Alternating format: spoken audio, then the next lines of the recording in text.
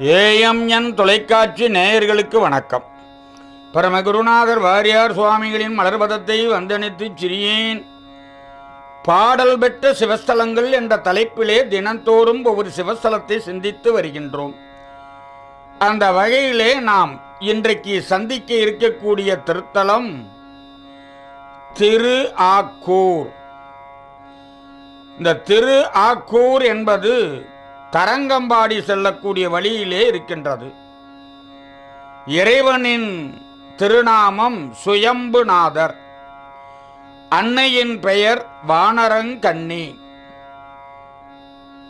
இந்த சுயம்புநாதர் என்று சொல்லப்பட்ட இத்திருத்தலத்தை சிலந்தி சோழன் என்று சொல்லப்பட்ட ஓர் அரசன் வழிபட்டு வந்ததாக வரலாறு. இந்த சிலந்தி சோழன் என்பவனுக்கு வயிற்று நோய் அதோடு தொழுநோய். அது குன்மம் என்று சொல்லுவார்கள்.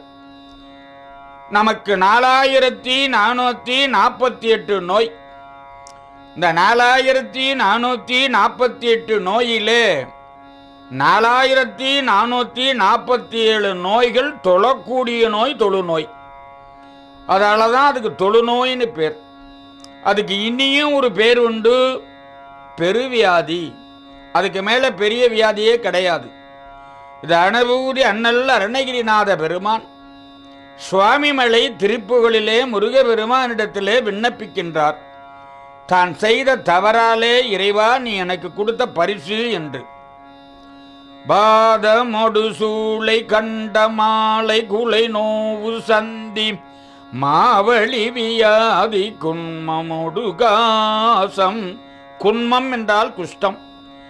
இந்த சிலந்தி சோழனாகப்பட்டவன் இந்த வயிற்று வெளியும் இந்த குஷ்ட நோயும் தீரும் பொருட்டு அங்கு உள்ள குளத்திலே வந்து முழுகி முப்போதும் தப்பாத அந்த சுயம்பு நாதரை வழிபட்டிருக்கின்றான்.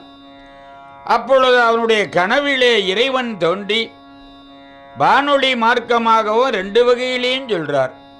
சிலந்தி சோழனே நீ தினந்தோறும் ஆயிரம் அடியவர்களுக்கு அன்னம்ப அளித்தால் இந்த நோய் நீங்கி நலன் பெறுவாய் என்று சொன்னார்.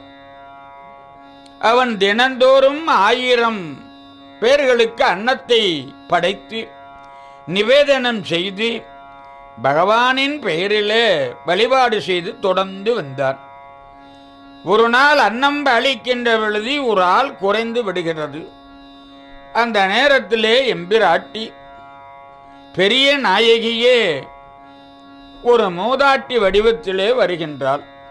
அப்படி வரக்கூடிய நேரத்திலே சுவாமியை சந்திக்கின்றாள். சாமியை ஓடி பிடிக்கச் செல்கின்ற பொழுது சுவாமியாகப்பட்டவர் பூமிக்கு அடியிலே மறைகிறார். அப்படி மறைகின்றதை இந்த சிலந்தி சோழன் பார்த்தான். கடப்பாறையை கொண்டு அந்த பூமியை அகழ்ந்து பேர்க்கின்ற பொழுது சுவாமியின் மீது அந்த கடப்பாறை வடுபட்டது இன்றும் அந்த சுவாமிக்கு இருக்கின்றது. அதாலே தான் அந்த சிலந்தி சோழனுடைய சிலையும் அங்கு இருக்கின்றது. அதே போல சிறப்புலி நாயனார். இந்த அறுபத்தி மூன்று நாயன்மார்களிலே சிறப்புலி நாயனார் என்று ஒரு நாயனார் அவதரித்ததும் இந்த திருத்தலம். இந்த திருத்தலத்திலே ஆரம்பித்தவர் அவர் மறையவர் குலத்திலே பிறந்தவர். மறையவர் என்று சொன்னால் வேதங்களை ஓதி அறத்தை போதிக்கக்கூடியவர்கள். பூநூல் போட்டு திருநீறு தரித்து விட்டால் அந்தனர் அண்டு தருமத்தை போதிக்க வேண்டும். அதனால தான் தமிழ் மூதாட்டி அவ்வை. அறம் செய்ய விரும்பு என்றால் அறம் என்றால் தர்மம். ஒரு காலத்திலேயும் அழியாதது தர்மம். இந்த தர்மம் என்பது இருக்கிறதே எடுத்த பிறவிகள் தோறும் நமக்கு கூடவே வரும். அதால தான் மகாபாரதத்திலே கர்ணன் மாபாதகம் செய்தான். சேரக்கூடாத இடத்திலே சேர்ந்தான். ஒற்றை ஆடையுடன் இருந்த பெண்ணை ஒரு சபையிலே வச்சு ஆடையை திகழ்ந்த பொழுது வேடிக்கை பார்த்து கொண்டிருந்தான் கொடிய பாவம்.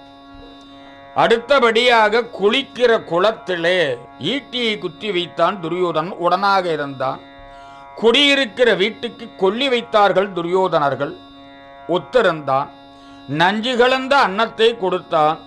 இப்படி மாபாதகச் செயல்களுக்கெல்லாம் உடந்தையாக இருந்த கர்ணன் அவனுடைய ஆவி பிரிகின்ற பொழுது தர்ம தேவதை அழுது கொண்ட ஆத்மா பிரியவில்லை. என்ன காரணம்?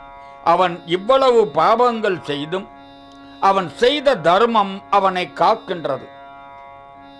உடம்பிலே இருக்கக்கூடிய படை நோயை மேலே அணிந்துள்ள ஒரு சொக்காய் மறைப்பதைப் போலே அந்த தர்மம் மறைத்து விடுகின்றது. அதால தான் தர்மம் தலைகாக்கும் என்று சொன்னார்கள் பெரியவர்கள். யார் ஒருவர் தர்மம் செய்கின்றார்களோ அவர்கள் குலம் அனைத்தும் புகழோடு விளங்கும். அதால தான் ஆஞ்சநேய சுவாமி இலங்கைக்கு சென்றுவிட்டு ராமபிரானிடத்தில் வரக்கூடிய நேரத்தில் அந்த நாட்டின் பெருமைகள் என்ன என்று கேட்கின்றார். அப்ப சொல்றார் எல்லாத்தையும் சொல்லிட்டு திறம்பு காலத்தும் புக அறம் புகாங்கிறார் திறம்பு காலத்தும் சிதையா அறம். அன்பர்கள் கவனிக்கணும். திறம்பு காலத்தும் சிதையா அறம். சிதைதல் என்று சொன்னால் நொறுங்கி போகுதல் உடைந்து போகுதல். இமயம் ஒரு நாளைக்கு தரைமட்டமாகும். கடல் திடலாகும். சூரியன் மேற்கே உதிப்பான். ஆண்கள் கருத்தரித்து குழந்தை பெறலாம். எல்லாமே தலைகீழா மாறும் ஆனால் தர்மம் அழியாதுங்கிறார். அதால தான் திறம்பு காலத்தும் சிதையா அறம். அப்படிதான் ராமச்சந்திரமூர்த்தி சொல்றார் அங்கே தர்மம் இருந்தால் என் பானம் வேலை செய்யாதப்பா. அதாலே என் பானம் புகும் என்று சொன்னார். அதால தான் அறம் புகும் என்றார் ராமச்சந்திரமூர்த்தி. அப்பேற்பட்ட இந்த தர்ம பணியை இந்த நாயனார் செய்கின்றார் செருத்துணை நாயனார். தன்னிடத்திலே இருக்கக்கூடிய செல்வங்கள் அனைத்தையும் அவ்வாலயத்துக்கு வரக்கூடிய பக்தர்களுக்காகவும் ஞான போதனைகளை செய்வதும் அவருடைய குலத்தொழிலாக இருந்திருக்கின்றது. சிலந்தி சோழனுக்கும் அங்கே சிலை உண்டு செருத்துணை நாயனாருக்கும் அவருடைய துணைவியாருக்கும் சிலை உண்டு அதாலே அங்கே இருக்கக்கூடிய விநாயகர் மிக விசேஷமான விநாயகர் செவி சாய்த்த விநாயகர். நம்மளுடைய குறைகளை கேட்டு விநாயக பெருமான் ஏதோ ஒரு குருநாதரிடத்திலே மாணவன் சொல்வதைப் போல தந்தையிடத்திலே தனையன் சொல்வதைப் போல ஒரு எஜமானனிடத்திலே பணியாளன் சொல்வதைப் போல அப்பரமனிடத்திலே பக்தர்கள் சொல்லக்கூடிய குறைகளை கேட்பதற்கு செவி சாய்த்து கேட்கக்கூடிய விநாயகரும் அங்கே இருக்கின்றார். அப்பேற்பட்ட விசேஷ ஸ்தலம் அந்த விசேஷ ஸ்தலத்துக்கு நாம் ஒரு முறை சென்று தரிசித்தால் இன்னருளும் தன்னருளும் அப்பரமபதி வழங்குவான். அதால தான் அவருக்கு பேரே சுயம்புநாதர். தான் தோன்றி ஈஸ்வரர் என்றும் சொல்வார்கள். அவருக்கு எத்தனை நாமம் உண்டோ அத்தனை நாமங்களும் அவருக்கு வைக்கலாம். நாம் வைக்கக்கூடிய பெயர் அவர் இஷ்டமே. அவருக்கு என்ன பெயர் சொல்லி அழைத்தாலும் அவர் அன்பர்கள் பால் கருணை பொழியக்கூடிய கிருபாநிதி தயாசமுத்தரம். ஒரு அன்பர் கேட்டார் அவர் தலையிலே சப்த நதிகள் எதற்கு? அடியன் ஒரு இடத்துல உபன்யாசம் பண்ணுகின்ற பொழுது ஒரு அன்பர் கேட்டார் அவருக்கு எதுக்கு சப்த நதிகள்? அதற்கு அடியன் விளக்கம் சொன்னேன் காரணம் ஐந்து கண்டத்திலே இருக்கக்கூடிய நாம் அனைவரும் பாவச் சேற்றிலே உழுந்து தத்தளிக்கின்றோம். நாம் எல்லோரும் முழுக வேண்டும் என்று சொன்னால் ஒரு குடம் இரண்டு குடம் பத்தாது. ஒரு ஏரி இரண்டு ஏரி பத்தாது அதனாலே சகசிரமுக கங்கையை தலையிலே வைத்திருக்கின்றார். அதில் எத்தனை பேர் வேணுமென்றாலும் குளிக்கலாம். எத்தனை கோடி மக்கள் வேணுமென்றாலும் குளிக்கலாம். அது ஜீவ நதி வற்றாத நதி. அவருடைய முடியிலிருந்து இறங்கி வரக்கூடிய நதி. அப்பேற்பட்ட பகவானுக்கு நாம் விடக்கூடிய ஒரு குடம் ரெண்டு குடம் தண்ணீரா சாந்தி செய்யும். அது பொருள் அன்று. நமது வீட்டிலே தவழ்ந்து விளையாடக்கூடிய குழந்தை தன் வாயிலே இருக்கக்கூடிய ஒரு இனிப்பு பண்டமாகிய மிட்டாயை நமது வாயிலே ஊட்டுகின்றது. நாம் எத்தனை மகிழ்ச்சி அடைகிறோம். என்னுடைய குழந்தை எனக்கு மிட்டாய் கொடுத்து விட்டது என்று மகிழ்கிறோம். இந்த ஒரு பிறவிக்குத்தான் அக்குழந்தைக்கு நாம் தாயோ தந்தையோ மாமனோ தாத்தாவோ அல்லது ஏதோ ஒரு உறவு. ஆனால் எடுக்கக்கூடிய பிறவிகள் அனைத்துக்குமே அப்பரம்பொருள்தான். நமக்கு அரும் துணையும். பெருந்துணையுமாய் இருப்பவர். அப்பேற்பட்ட அருந்துணையை அடியவர்தம் அல்லல் நீக்கும் அருமருந்தை நாம் சதா காலமும் சிந்திக்க வேணுமென்றால் ஆலயம் சிறந்த இடம். காரணம் அந்த காலத்திலே பெரியவர்கள் இத்தகைய ஆலயங்களை கட்டி பூஜா புனஸ்காரங்களை பண்ணி நைமித்திய நித்திய பூஜைகளுக்கு வேண்டிய தான தர்மங்கள் நிலபுலங்கள் அசையும் சொத்து அசையா சொத்துக்கள் எல்லாம் நம் மூதாதையர்கள் ஏன் அப்படி கொடுத்தார்கள் என்று சொன்னால் இந்த உலகம் நெறியோடு வாழ வேண்டும். காரணம் அந்த தெய்வம் என்று ஒன்று இருக்கின்ற காரணத்தினாலே தான் நாம் கொஞ்சம் சத்திய வாழ்வு வாழ்கிறோம். இல்லை என்றால் விலங்குகளைப் போலே நம் மனம் மாறி கண்டதே காட்சி கொண்டதே கோலம் என்று சொல்லி தடம் பிறண்ட ரயில்களைப் போல நாம் வாழ்க்கையிலே அலக்கன் அடைய நேரிடும்.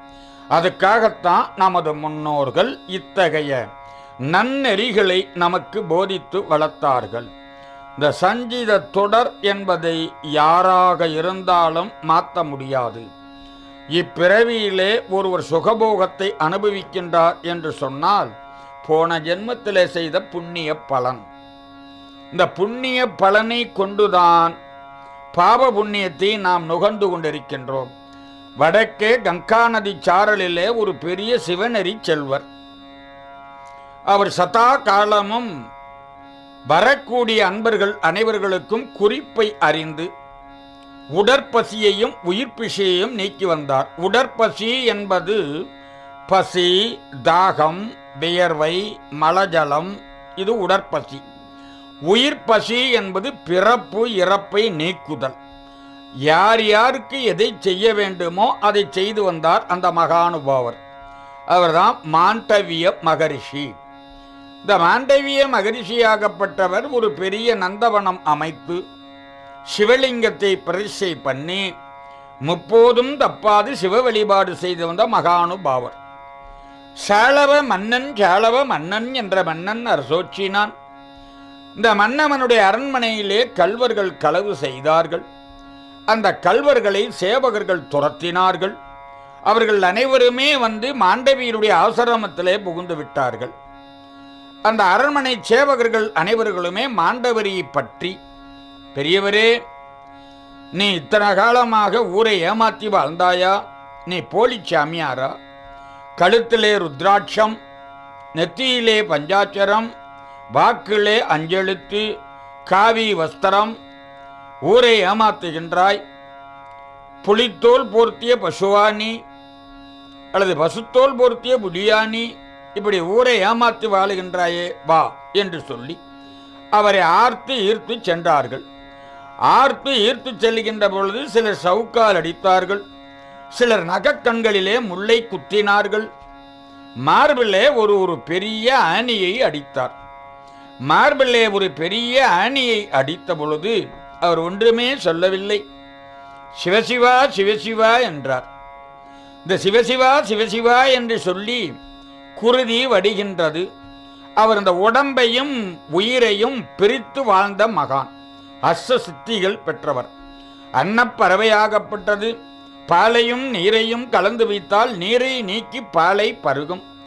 தாமரை இலை தண்ணீரிலே இருந்தாலும் தண்ணீர் அந்த இலையிலே ஒட்டாது. அதைப்போல் அந்த அன்பர் சிவசிவா என்று சொன்னார். அந்த நேரத்தில் அகத்திய மகரிஷி வஜிஷ்ட மகரிஷி பிருகு மகரிஷி ததீசி பிரிங்கி இப்பேற்பட்ட மகானுபாவர்கள் எல்லாம் நதிநீராடச் சென்றார்கள். ஆகாய மார்க்கத்திலிருந்து அகத்தியர் பார்த்தார். அந்தோ கெட்டோம். சிவானுபூதி செல்வர் மாண்டவியருக்கா இந்த நிலை? அவர் சிரித்தார் என்று சொன்னால் சாலவ நாடே எரிந்து போய்விடுமே என்று சொல்லி விண்ணிலே இருந்து கீழே இறங்கி மாண்டவியரை வளம் வந்து நிலந்தெழுதி அகத்தியர் உள்பட சிவபெருமானுக்கு நிகரானவர். சிவனை நிகர் போதியவரை முனிவனகமகில இரு செபி குளிர இனிய தமிழ் பகர்வோனே. அருணகிரிநாத பெருமான் பாடுறார் திருச்செந்தூர் திருப்புகள் சிவனுக்கு நிகரான பொதியை முனி அவரே வணங்குகின்றார். இது சேவகர்கள் சென்று சாலவ மன்னனிடத்திலே சொன்னார்கள். சாலவ மன்னனாகப்பட்டவன் அதிர்ச்சி அடைந்து அரியணை விட்டு எழுந்து மாண்டவிய மகரிஷியின் பாத கமலங்களிலே வந்து பணிந்து செய்குற்றத்தை தாய் பொறுக்க வேண்டும் சிவன் அடியாரே. சிவ வழிபாடு செய்த உங்களை நாங்கள் தொந்தரவு செய்துவிட்டோம் எங்களை மன்னித்து வேண்டும் என்று சொல்லி ராஜ வைத்தியர்களை வரவழைத்து நகக்கண்களிலே குத்தப்பட்ட முற்களை எல்லாம் எடுத்து ஆங்காங்கே பச்சளை மூலிகைகளை தடவினார்கள். மார்பிளே அடிக்கப்பட்ட பெரிய ஆணையை ஒரு கொரடு வைத்து இழுக்க வந்தார்கள். மகரிஷி பார்த்தார் அன்பனி அதை அப்படியே விட்டு. நான் தினந்தோறும் சிவ பூஜைக்கு பூக்குடலையை மாட்டிச் சென்று மலர் சேகரம் செய்வேன். அதுக்கு ஏதுவான இடமாக இருக்கின்றது என்று சொல்லி பூக்குடலை மாட்ட தோதாருக்கும் விட்டுவிட்டார் அன்று தொற்று அவருக்கு ஆணி மாண்டவிய மகரிஷி. இவர் தன் தவ வலிமையினாலே அறவுலகம் சென்றார். முன்பு ஒருவரை பற்றி சொன்னேன் சிலாதன மகரிஷி. இப்பொழுது சொல்லக்கூடியது மாண்டவிய மகரிஷி. இதெல்லாம் அன்பர்கள் மனசிலே பதிய வைத்து இத்தகைய தகோதரர்களுக்கே இந்த நிலை என்றால் நாம் எந்த மூளை என்பதை ஆறுதல் அடைய வேண்டும் என்பதற்காக இவைகளை மேல்கோட் காட்டி உங்களுக்கு கூறுகின்றேன். உடனே இவர் அறவுலகம் சென்றார் என்ற உடனே அறக்கடவுள் இவர் அரியணை தந்து அமர வைத்தான். அன்பனே சாலவ நாட்டிலே எனக்கு இத்தனை கொடுமைகள் செய்தார்கள் என்னன்னு கேட்டார். சித்ராகுப்தனாகப்பட்டவன் அவருடைய ஜாதகத்தை புரட்டி பார்த்தான். மகரிஷி போன ஜென்மத்திலே நீர் குழந்தையாய் இருந்த பொழுது இஷம்போல் பறந்து தெரிந்த தும்பியை பிடித்து மதுரை பக்கம் தட்டான்னு சொல்லுவாங்க. இங்கே தும்பி என்று சொல்லுகின்றோம். அந்த தும்பியை பிடித்து ரெக்கையை கிள்ளி அதன் மார்பிளே ஆணையை குத்தினாய் நீ செய்த அவ்வினைக்கு இவ்வினை என்றார். அதுதான் அந்த ஆணி. அந்த தட்டானாகிய தும்பியிலே முள்ள குத்தினார் இல்லையா மார்பில்? அந்த ஆணி அவருக்கே அந்த நிலை. அப்பேற்பட்டவர் இறைவனை வழிபட்டு அந்த பாவ விமோச்சனத்தை பெறுகிறார் என்றால் நாமெல்லாம் ஒரு சாமானியர்கள். தெரிஞ்சு நெருப்பிலே கால் வைத்தாலும் சுடும். தெரியாத நெருப்பிலே கால் வைத்தாலும் சுடும். ஏன் ஆலயத்தை வழிபட வேண்டும் என்று சொன்னால் அங்கிங்கனாதபடி எங்கும் நீக்கமர நிறைந்து இறைவன் இருந்தாலும் இந்த ஆலயம் என்பது இறைவன் தங்கி அருள் செய்யக்கூடிய தவக்குன்றம். அதனால தான் பெரியவர்கள் வாஸ்து பிரகாரம் நான்கு மாடங்கள் அமைத்து சுற்றுப்பிரகார சுவர் வைத்து அதற்கு தலைவாசல் நுழைவாசல் வைத்து கர்ப்ப கிரகம் என்று ஒன்றை வைத்து அந்த கர்ப்ப கிரகத்திலே மூர்த்தியை வேத விற்பனர்களை கொண்டு வேதாகம ஆகம முறைப்படிக்கு யாகசாலைகள் வைத்து நாடி சந்தானம் என்று ஒன்றை கட்டி அந்த நாடி சந்தானத்தின் வாயிலாக யாகசாலையிலே இருக்கக்கூடிய அந்த விமானங்களிலே இருந்து கொண்டு மூலவருக்கு கொடுத்து எந்த மூலவருக்குரிய விமானமோ அந்த விமானத்தின் மூலியமாக தர்ப்பக்கயிறு அந்த தர்ப்பக்கயிறிலே மூன்று பின்னல் உண்டு. இரண்டு கண்ணுக்கு தெரியும் ஒன்று கண்ணுக்கு தெரியாது. ஒன்று ஈஸ்வர தத்துவம் ஒன்று ஆத்ம தத்துவம் ஒன்று வித்யா தத்துவம் இந்த மூன்று தத்துவங்களும் அந்த மந்திரங்களை சக்தியை கூட்டி ஒரு மந்திரத்தை பல கோடி மந்திரங்களாக்கி தன்னகத்தை தேக்கி வைத்துக் கொள்ளும். அதனால தான் அஷ்டபந்தனம் சாத்துவது. அஷ்டம் என்றால் எட்டு விதமான மூலிகைகள். அதை வைத்து சாத்துகின்ற பொழுது எட்டு விதமான ஐஸ்வர்யங்கள் நமக்கு கிடைக்கும். அப்படி மூலவரை பிரதிஷ்டை செய்கின்ற பொழுது சொர்ணங்கள் நவரத்னங்கள் கனகம் என்று சொல்லப்பட்ட தங்கம் இவைகளை வைத்து பிரஷை பண்ணி புனித நீரினாலே அந்த பகவானை நாம் தூய்மை செய்கின்றோம். காரணம் கும்ப அபிஷேகத்திற்கு முன்பு யாரெல்லாமோ தொட்டிருக்கலாம். அந்த தீர்த்த அபிஷேகத்துக்கு பின்பு ஆச்சார சீலர்கள் மாத்திரமே விக்கிரத்தை தொட முடியும். மற்றவர்கள் தொட முடியாது. அப்படி வைத்து அதற்கு ஒரு அர்ஜகர் அவர் நம்மளுடைய பெயர் லக்கணம் ராசி நட்சத்திரம் இவைகளை வைத்து கற்பூர தீப ஆராதனை பண்ணி தீர்த்தம் நேராஞ்சனை செய்து நமக்கு கற்பூர ஆரத்தி கொடுக்கின்றார். அந்த நேரத்திலே நாம் யாருமே குறுக்கே செல்லக்கூடாது. அப்பொழுதுதான் மணி அடிப்பார்கள். மணி அடிப்பதன் நோக்கம் என்ன? எங்குமே பராக்கு பார்க்க கூடாது மனம் வாக்கு காயம். மனம் என்றால் நல்லதை நினைக்க வேண்டும் வாக்கு என்றால் நல்லதை சொல்ல வேண்டும். அப்படி கூப்பிய கையோடு இறைவனை வழிபட வேண்டும். அந்த எண்ணம் தான் நமக்கு நிறைவேறும். அதால தான் பசுவை போலே கோவில். அந்த பசு என்பதைப் போலே கோவில் இருக்கின்று சொன்னால் கோவில் அனைத்திலுமே ஆண்டவன் நிறைந்து இருக்கின்றான் என்று ஒரு பொருள். இப்ப பசுவுக்கு உடம்பெல்லாமே பால் பரவி இருக்கின்றது. எல்லாருக்கும் தெரியும். ஆனால் நான் பத்தாயிரம் ரூபா கொடுத்து இந்த பசுவை வாங்கியிருக்கிறேன். அதனால் நான் பால் கறக்க போகிறேன்னு சொம்பை எடுத்துட்டு போய் பால் கறக்க முடியாது. கொம்பை பிடித்து வருடினால் பால் வராது. காதை பிடித்து வருடினால் பால் வராது. வாழை பிடித்து வருடினால் பால் வராது. அப்போ என்ன செய்யணும்? அந்த பசுவுக்கு பிரியமான கன்றுக்குட்டியை கொண்டு செல்ல வேண்டும். அந்த கன்றுக்குட்டி தான் அச்சகர். அந்த கன்றுக்குட்டி என்ன செய்யும்? மடியிலே போய் முட்டும். அந்த மடிதான் கர்ப்ப கிரகம் கன்றுக்குட்டி தான் அர்ஜகர். அப்ப மடியில முட்டிய உடனே ஐந்தறிவு உள்ள பசு உடம்பெல்லாம் இருக்கக்கூடிய பாலை மடிக்கு கொண்டு வந்துவிடும். உடனே கன்றை இழுத்துவிட்டு பாலை கறந்து கொள்ளலாம். அதை போல இறைவனிடத்தில் உள்ள அருளை அர்ச்சகராகிய கன்றுக்குட்டி தீப ஆராதனை செய்து பக்தர்களுக்கு கொண்டு வந்து காட்டுவதுதான் மரபு. அப்படி காட்டுகின்ற பொழுது அந்த கற்பூரத்தை தொட்டு நாம் வணங்கி பகவானே உலகமெல்லாம் சேமமாக இருக்க வேண்டும். எல்லா உயிர்களும் இன்புட்டு வாழ வேண்டும். எங்கும் மழை பொழிய வேண்டும். இயற்கை சீற்றங்கள் எங்குமே வரக்கூடாது. வேற்றுமையிலும் ஒற்றுமை கண்டு உலகம் அனைத்தும் நலமே பெற வேண்டும் என்று பொது நோக்கத்தோடு வணங்கினால் நமது நோக்கமும் அதிலே அடை அடங்கிவிடுகிறது. அப்பொழுது அந்த அர்ஜனை தட்டிலே நாம் அந்த பிரியமான கன்றுக்கு ஒரு சிறிய தட்சணை தருவது நல்லது. அந்த கற்பூரம் ஏன் ஏற்றுகிறோம் என்றால் இந்த கற்பூரத்திலே சாம்பல் மிஞ்சாது கறி மிஞ்சாது விறகை போல். அதால தான் நாம் கற்பூரத்தைப் போலே கரைந்து விட வேண்டும் இறைவனிடத்தில் என்பதற்காகத்தான் நமது முன்னோர்கள் கற்பூரத்தை ஏற்றினார்கள் தேங்காய் ஏன் உடைக்க வேண்டும்?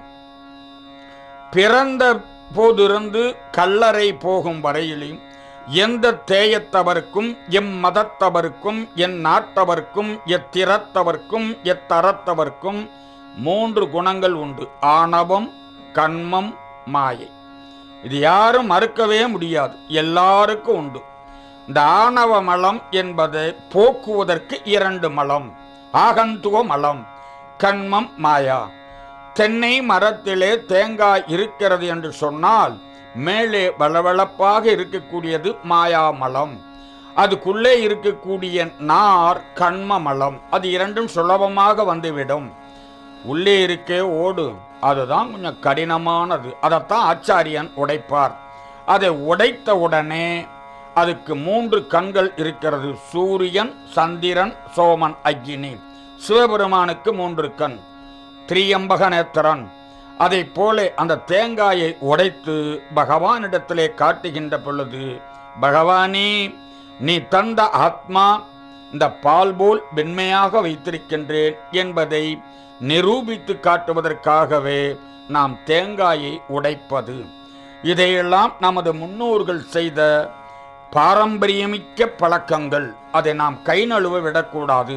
இப்பேற்பட்ட ஆலயத்திலே இந்த மாதிரி செருத்துணை நாயனார் அவருடைய துணைவியார் சிலந்தி சோழனாகப்பட்டவன் தன் குன்ம நோயும் வயிற்று நோயும் தீரும் பொருட்டு அந்த ஆண்டவனை வழிபட்டு தினந்தோறும் ஆயிரம் பேர்களுக்கு அன்னம் பாலித்து அதிலே ஒருவர் குறைகின்ற பொழுது அம்பிகையே மூதாட்டியாக வந்து சுவாமியை தேடி ஓடுகின்ற பொழுது சுவாமி புதருக்குள்ளே மறைகின்றார்.